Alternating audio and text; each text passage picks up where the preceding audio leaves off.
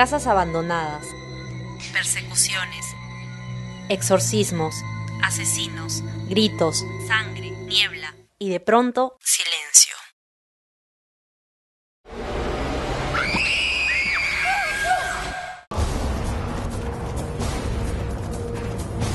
Son algunos de los elementos que no deben faltar en una película de terror. Con motivo de la celebración de Halloween, visitamos a creativos y directores, quienes nos hablaron sobre su película favorita de terror y qué es lo que hace tan interesante a este género cinematográfico. Tengo una que me marcó, de hecho, la vi de, de, y es El Resplandor con Jack Nicholson. Es una película de Kubrick, lo casa. Es, es como, como, una, como un ejemplo perfecto de cómo un personaje que empieza muy bien se llega a degenerar. O sea, una vez seguí un curso de guiones de cine y el personaje se va para arriba o se va para abajo, ¿no? pero no debe mantenerse como, como estable. Ya, este personaje se fue en caída, pero con Roche. No me viene a la, a la mente una película de terror favorita. Creo que hay películas muy buenas actualmente. Me gustan sobre todo las que tienen temas este, religiosos, de exorcismo, ese tipo de cosas.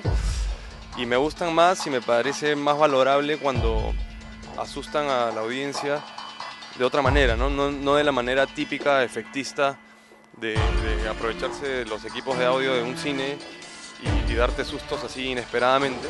Al final cualquiera salta, sino me gusta más cuando lo hacen de una manera elaborada, no inesperadamente. Yo no soy un fanático de las películas de terror, ya, pero me gustan dos cosas que he hecho Amenábar, como The Others y también Tesis, que son dos películas interesantes que tienen un poco ese género suspenso-terror este, y una película que me gusta menos, pero me dio mucho miedo es El Aro.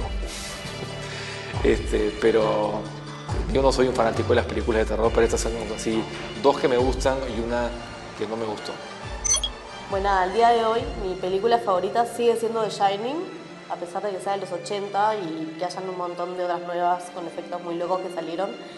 Para mí eso es espectacular a nivel arte, eh, a nivel, bueno, idea, cómo narra, o sea, cómo te mantiene en vilo y, realmente cómo se sostiene siempre demasiado, o sea, en realidad no pasa nada y pasa todo, entonces me parece increíble. Hasta ahora no, no hay otra que me haya parecido mejor, salvo alguna que otra japonesa media rara que vi por ahí que me parecieron interesantes, pero esa sigue siendo la uno.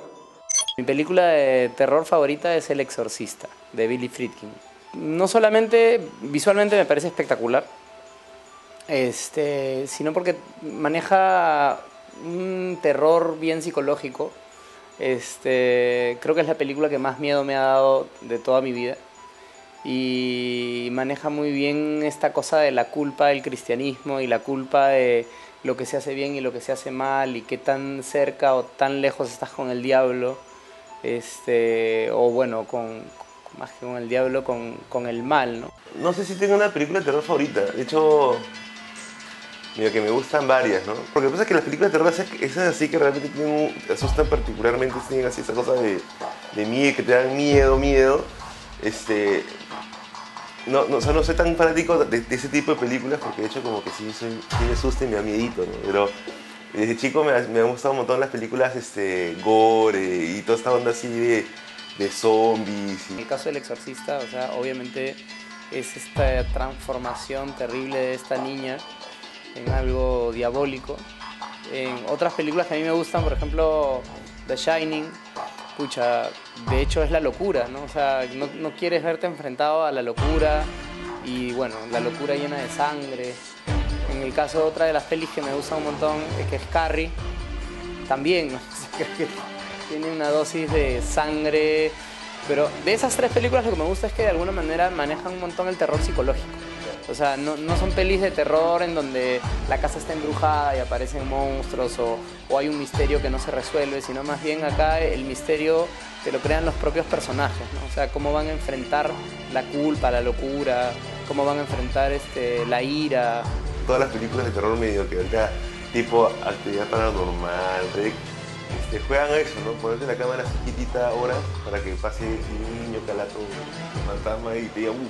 Igual hay una cosa que pasa con el cine terror que si me parece simpática es que está pasando un montón, el cine de terror el día que ha- hacen todo este tipo de Blair Witch Project, ¿no? Que es a partir de ese tipo de cosas que, que tienen una factura como que medio que puede ser real, ¿no? Que puede ser que algo que haya pasado. Entonces está un poco más de miedito, ¿no? Es un poco el, el- el chiste que creo que, que es una cosa como que se ha, hecho, se moda hace poco, pero que de alguna manera creo que funciona bien. Así como que una película favorita no tengo, pero tengo como una memorable, ¿no? Este, de hecho, creo que es la que la mayoría dice siempre, El Exorcista, por todo, todo el tema visual que tenía, ¿no? Todo el contenido, que era bien fuerte. Antes, yo recuerdo que todas las películas eran más suspenso que horror, o sea, decían que era horror, ¿no? Pero luego separaron un poco el género del suspenso, del horror, y finalmente yo creo que todo tiene como que el mismo, o sea, van hacia el mismo lado, ¿no? Eso es lo que creo que no debería explicar nunca una película de terror. Y hay películas de terror que tienen mucha sangre, por ejemplo, y hay otras que no, que se dedican más justamente a lo que te decía, ¿no? Yo prefiero una película con más contenido, digamos, de contenido de, de- de historia, ¿no? Eso es lo que creo también, aparte de, de lo que te decía. Eh, la historia es la que tiene que ser mucho, mucho, mucho, muy fuerte, ¿no? O sea, de hecho hay, hay, hay varias películas, eh, más que de terror, de, su- de- de suspenso, ¿no? Este, Los Otros me pareció de hecho interesante, este, Sexto Sentido, es un poco antigua, ¿no? Eh, una película de terror que, que sí marcó desde chivolo son las clásicas que eran este, Pesadilla en el Street, Poltergeist, pero hay una película así que, que de hecho me, me asustó cuando era, cuando era chico, que era Terror en Amityville, creo que se llamaba.